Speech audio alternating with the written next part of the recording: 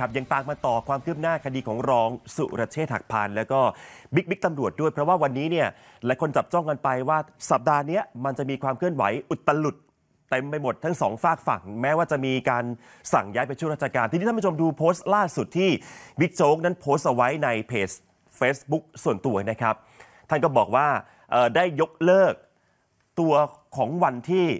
จะเดินทางไปลาพักผ่อนที่อังกฤษยกเลิกไปแล้วนะครับนี่ครับ ตอนนี้ผมอยู่ที่อำเภอเมืองจังหวัดหนองคายนะครับ มาเป็นประธานในพิธีบวงสรวง แล้วก็รวมไปถึงอีกพิธีหนึ่งผมได้ตัดสินใจยกเลิกวันลาพักผ่อนทั้งหมดนะครับ ที่จะเดินทางไปยังอังกฤษ เพราะยังมีภารกิจที่ผมได้รับมอบหมายโดยตรงจากนายกรัฐมนตรี และท่านภูมิธรรมเวชชยชัย รองนายกรัฐมนตรี ก็คือการมอบหมาย ให้ผมเป็นประธานในการแก้ไขปัญหาที่ดินทำกินของประชาชนที่เกาะหลีเป๊ะนะครับรวมไปถึงแก้ไขปัญหาความเดือดร้อนประชาชน ทั้งเรื่องที่ดินทำกินโฉนดชุมชน ชาติพันธุ์ และการออกโฉนดโดยมิชอบ แล้วก็ทิ้งท้ายบอกว่าความเดือดร้อนของชาวบ้านเขารอไม่ได้เนี่ยผมจึงกลับมาลุยงานให้พี่น้องประชาชนไอ้จุดสำคัญอยู่ที่นี่ครับมันก็เป็นบรรยากาศที่ค่อนข้างค่อนข้างชื่นมื่นนะครับในช่วงเวลาที่ บิ๊กโจ๊กนั้นลาราชการไปนะครับก็เดินทางไปจริง ๆ มีทั้งอยู่ที่กรุงเทพวันสองวันก่อนหน้านี้นะครับแล้วก็กลับไปที่หนองคายด้วยแต่จุดหนึ่งที่น่าสนใจคือว่านอกเหนือจากความเคลื่อนไหวของพลตำรวจเอกสุรเชษฐ์หักพานเนี่ยท่านผู้ชมหมายเรียกครั้งที่สองนะครับซึ่งทางทีมของบชน ที่เขานำตัวหมายไป พยายามจะไปให้รับทราบที่ทั้งบ้านพักย่านหลังสโมสรตำรวจวิภาวดี รวมไปถึงที่ทำเนียบรัฐบาลนะครับที่สำนักปลัดสำนักนายก รวมไปถึงที่สงขลาเนี่ยมันเป็นครั้งที่สองตามกำหนดครั้งที่สองเนี่ยมันจะกำหนดเอาไว้คือวันพรุ่งนี้ 26 มีนาคม ที่ตัวพลตำรวจเอกสุรเชษฐ์ท่านจะต้องเดินทางไปรับทราบข้อกล่าวหานะครับทีนี้วันนี้ท่ามกลางการจับจ้องว่าจะไปหรือไม่ไป หรือจะตัดสินใจอย่างไร เพราะมุมหนึ่งเนี่ยก็ไม่ไปอังกฤษแล้วน่าสนใจนะฝากฝั่งทีมทนายความนะครับวันนี้ไปหลายจุดครับ ไปยื่นเรื่องหลายพื้นที่ด้วยกัน หนึ่งในจุดที่ไปก็คือไปที่บชนนะครับ แล้วก็พูดง่ายๆเอาตัวหนังสือ ยื่นไปทางที่บชนกองบัญชาการตำรวจนครบาลนะครับ เพื่อที่จะให้ทางคณะพนักงานสอบสวนเนี่ยยุติการสอบสวนคดีของบิ๊กโจ๊กหมายถึงตัวคดีเว็บ BNK Master ไอ้สำนวนล่าสุดนี่แหละนะครับ ดังนั้นทนายบอกว่าต้องยื่นครับ เพราะที่สุดแล้วเนี่ยมีข้อสั่งการ พูดโดยตรงจากผู้บัญชาการตำรวจแห่งชาติเมื่อสัปดาห์ก่อนแล้ว วันนี้จึงตัดสินใจมายื่นในวันนี้แหละครับ ครั้งที่สองนะฮะครั้งที่สองเนี่ยก็มีการสื่อสารหรือ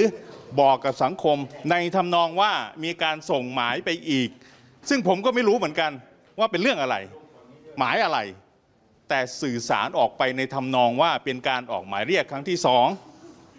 เพื่อจะได้เข้าเงื่อนไขขอให้ศาลออกหมายจับ สื่อสารออกไปทำนองอย่างนี้นะฮะพลตำรวจเอกสุรเชษก็ไม่รู้เหมือนกัน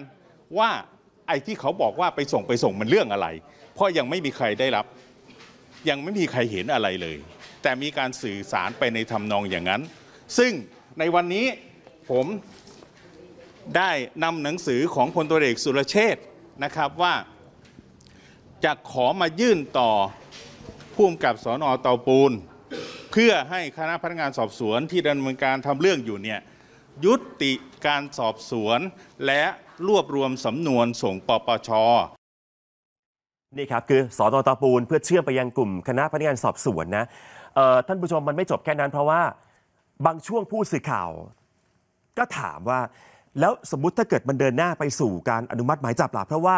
ตัวของหมายเรียกมันยังเกิดขึ้นอยู่ตั้งแต่เมื่ออสัปดาห์ก่อน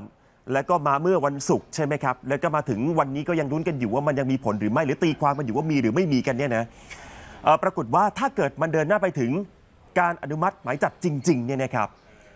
ทนายบอกว่ายืนยันครับพร้อมปกป้องสิทธิ์ตัวบิ๊กโจ๊กก็พร้อมปกป้องสิทธิ์เพราะที่ผ่านมาเนี่ยเราต่อสู้เรื่องความมิชอบของการสอบสวนโดยปชนมาตลอดครับความเคลื่อนไหวอย่างนี้คือทางทางท่านพลตัวเอกสุรเชษท่านก็จำเป็นต้อง ขึ้นลุกขึ้นมาปกป้องสิทธิ์ ว่าเอ๊ะทำไมมันยังเป็นยังมันยังเป็นออกมาในลักษณะอย่างนั้นอยู่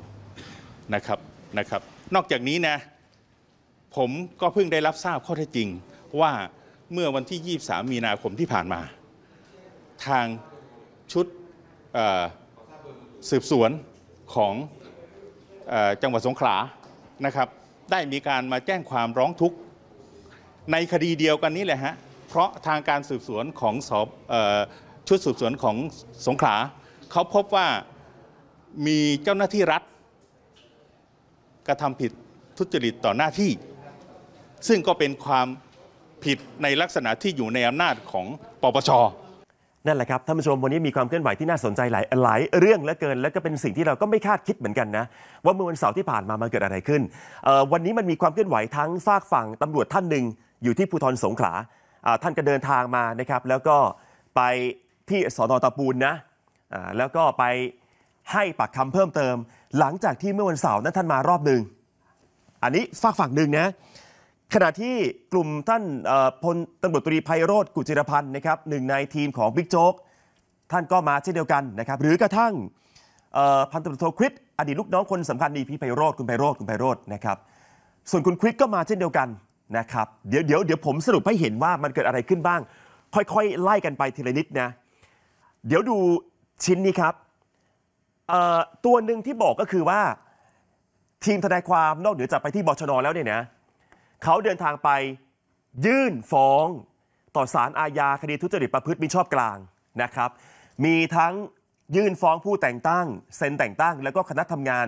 พนักงานสอบสวนคดีเว็บ BNK Master รวม 30 นายครับ ทีมทนายความไปบชน ไปเตาปูนบชน ไปที่ศาลอาญาทุจริตนะครับ และอย่างที่บอกไปเมื่อครู่วันนี้หลายคนยังไม่ทราบเลยนะครับ ที่สุดแล้วมีท่านพันตำรวจเอกดุสิตพรมศิลป์ท่านผู้กำกับสืบสวนสอบสวนภูธรสงขลามาให้ปากคำคดีเว็บไซต์พนันออนไลน์ BNK Master นะครับก็มาให้ปากคำหลังจากที่เมื่อวันเสาร์ที่ผ่านมาท่านไป ร้องทุกข์กล่าวโทษ พันตำรวจโทคริสตั้งแต่ 23 มีนาคม เพิ่มเติมข้อหา 157 กับ 149 ไอ้ที่เราวิเคราะห์กันมาตลอดช่วงสัปดาห์ที่แล้วอะครับ ในที่สุดมันเกิดขึ้นแล้วครับ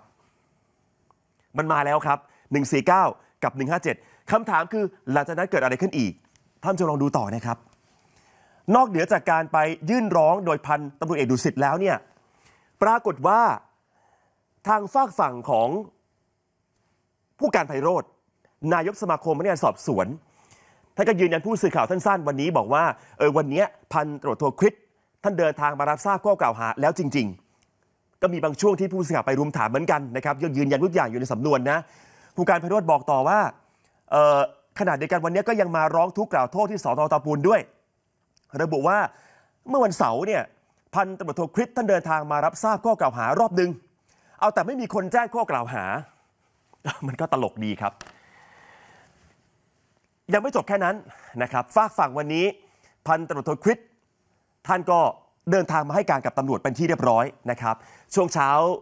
ปฏิเสธตอบคำถามผู้สื่อข่าวนะและตอนช่วงบ่ายก็มาแล้วก็สอบปากคำสอบข้อเท็จจริงข้อมูลต่างๆ และสอบปากคำโดย พื้นที่ของสอนอตาปูนอยู่ใช้เวลาพักใหญ่ แล้วอยู่ช่วงหนึ่งเสร็จปุ๊บก็ลงมาเปิดใจสั้นๆสักไม่ถึงนาทีสองนาทีครับกับพี่ๆเพื่อนๆผู้สื่อข่าวที่มาดักอยู่ด้านล่างต่อไป อันนี้น่าสนใจ ทีนี้มุมหนึ่งที่ผมมีโอกาสไปพูดคุยกับท่านผู้การไพโรจน์ตั้งแต่เมื่อวันศุกร์นะคือผมพอมองเห็นสัญญาณบางอย่าง แล้วเล่าท่านผู้ชมฟังไปแล้ว ว่าวันนั้นเนี่ยก็ถ้าเกิดมีการเพิ่ม 157 เพิ่ม 149 ก็ง่ายๆครับมันก็ไปปปชไงเพียงแต่วันนี้เนี่ยสิ่งที่ต้องการก็คือว่าความเชื่อมั่นจากทางตำรวจ และรวมไปถึง ถ้าเกิดไม่เชื่อมั่น มันก็อาจจะมีหมายจับตามมาได้ ฟังบางช่วงดูครับ มันมีกระบวนการอะไรที่ไปหยุดให้พนักงานสอบสวนไม่ไปขอสารอนุมัติหมายจับไหม มันมีได้หลาย ๆ อย่างอ๋อมันมีอยู่ มันมีอยู่หนึ่งสมมติพนักงานสอบสวนมาพิจารณาชุดเดิมก็แล้วพิจารณาว่าเอ้ยนี่เป็นเข้า 157ถึง49 นะ ครับ ก็หยุดอะสต็อปแล้วไปปปช ไปบวชโอเค การไปบวชเนี่ยไม่จำเป็นต้องมาแจ้งข้อกล่าวหา โอเค หรือมาออกหมายจับสามารถส่งไปได้เลย อืมอืมอืม ถ้าพนักงานสอบสวนเห็น คิดว่ามันเห็นแล้วอะแต่ก็มันก็ยังมีอีกอะ อ่า ถ้ายังจะมีธงว่าจะต้องออกหมายจับแล้วต้องอ่า แจ้งก่อนส่งก็จะมีอีก อืมอืมันมีได้ทั้งสองแบบคือ จะแจ้งหรือไม่แจ้งก็ได้ปโอวเคชนี่ครับท่านผู้ชมทวนกันสั้น ๆ ก็คือว่าข้อกล่าวหาเดิมที่เราวิเคราะห์กันมาเนี่ยนะ มันมีทั้งร่วมกันฟอกเงินนะครับ มันมีทั้งสมคบกันฟอกเงินถูกต้องใช่ไหมครับ แล้วเราก็ยืนยันจากท่านเลขาธิการปปชไปตั้งแต่เมื่อวันศุกร์แล้วเอ่อว่าถ้ามีแค่นี้ไอ้ร่วมกันฟอกเงิน กับไอ้สมคบกันฟอกเงิน ไม่ต้องส่งมาครับไม่ต้องส่ง เพราะมันไม่ได้เข้าเกณฑ์เพราะท่านจะยืนยันว่ามันเป็นความผิดส่วนบุคคลส่วนตัวอะพูดง่ายๆภาษาชาวบ้าน ถ้าท่านจะส่งมันก็ต้องมี 157 149 เป็นหลักขึ้นมา แล้วอยู่ดีๆ วันนี้มันก็ดูเหมือนจะมีขึ้นมานะครับท่านผู้ชมผม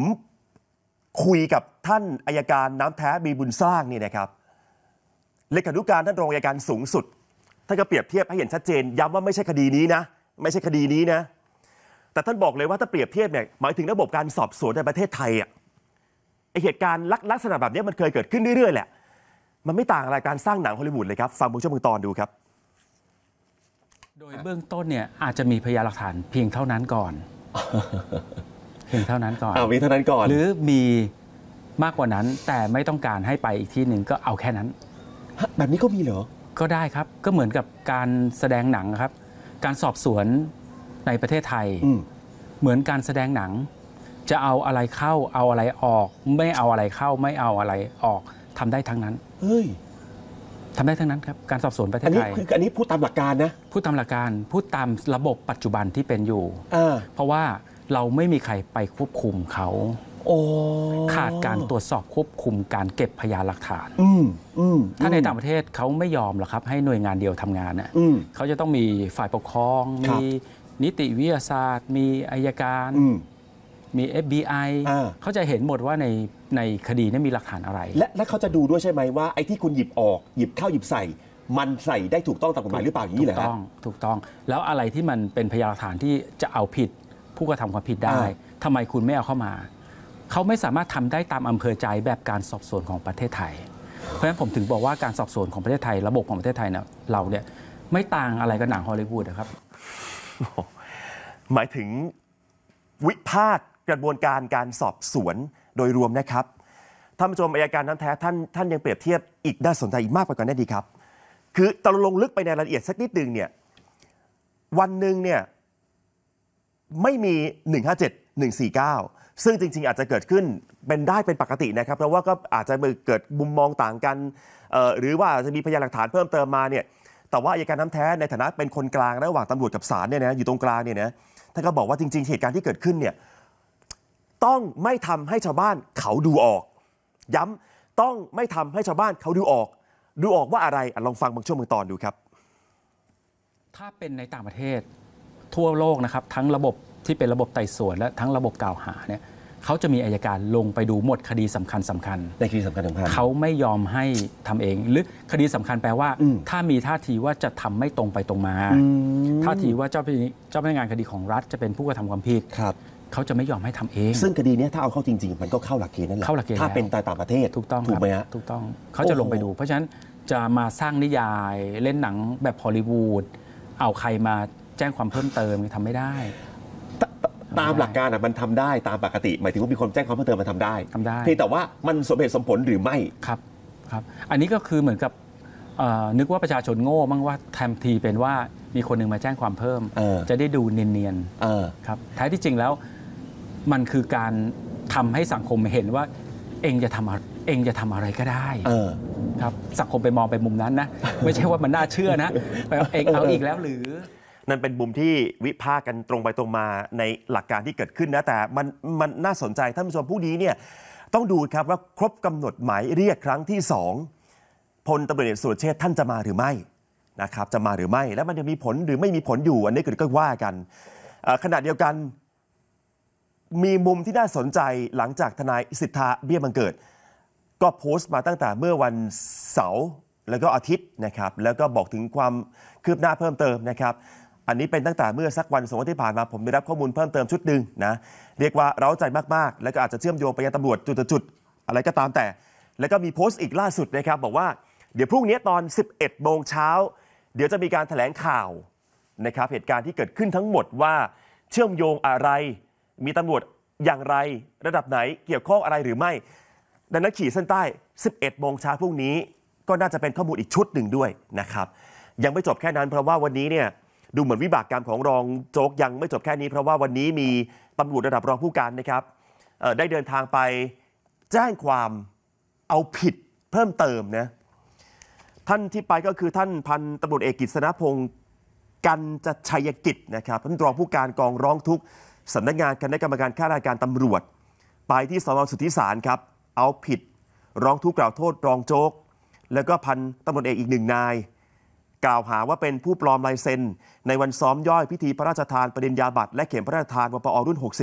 65 ท่านกฤษณพงศ์บอกว่า ผมได้เอาเอกสารต่างๆ มามอบให้สอนอดุสิตสุทธิสาร ซึ่งเป็นพื้นที่รับผิดชอบเหตุการณ์เกิดขึ้นระหว่าง 1-10 มีนาคมที่ผ่านมาที่วปอครับ เขตดินแดงกรุงเทพ ก็เบื้องต้นก็ร้องทุกข์กล่าวโทษในความผิดฐานกัน ร่วมกันปลอมเอกสารทางราชการ และใช้เอกสารปลอมเจ้าตัวระบุต่อนะครับว่าไม่สามารถจะให้สัมภาษณ์ถึงรายละเอียดได้มากนัก เนื่องจากพบตรท่านสั่งห้ามให้ข่าวต่อสื่อมวลชน เนื่องจากเกรงว่าจะเกิดผลกระทบต่อภาพลักษณ์ของทางสำนักงานตำรวจแห่งชาตินั่นเอง